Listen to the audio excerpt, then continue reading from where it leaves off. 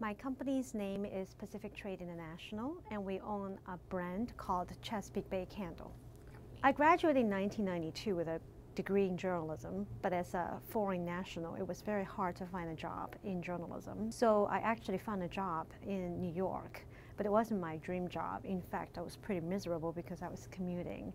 And while I was commuting between um, New York weekend back to Washington on the weekend, um, I discovered that I had another passion, which is uh, to probably start a business with my husband uh, to make product in the home area, which speaks to a more contemporary and modern lifestyle. So during the workday, I was by myself in New York, and um, I was living in a hotel very close to Bloomingdale.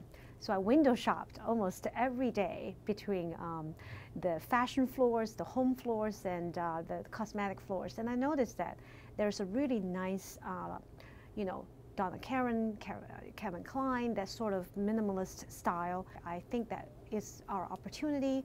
I told my friends what I want, and they sent me a lot of ideas. And um, I think I was ready at that time to kind of uh, give it a shot.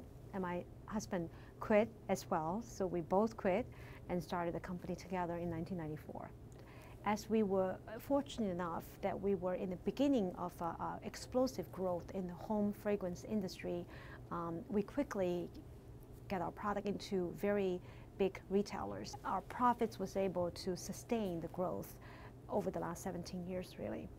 We have now about 50 people in the office and are close to 50 uh, starting from last year in the factory. So we have not really slowed down. In fact, the U.S. factory probably will add more people by the end of the year from both you know, assembly line workers to lab technicians and uh, development, uh, perfume development people. So we need a whole range of skills. I have trouble find, finding people that are skilled in my office as well as in my factory. This is uh, what I have been preaching is that manufacturing is not about blue collar jobs anymore. It's about working in a very high tech environment, understanding there's opportunities for those who uh, to use their hands and their brains to create something. We found people that want to do uh, something special in this business, not just because it's a payroll, it's a nine to five job.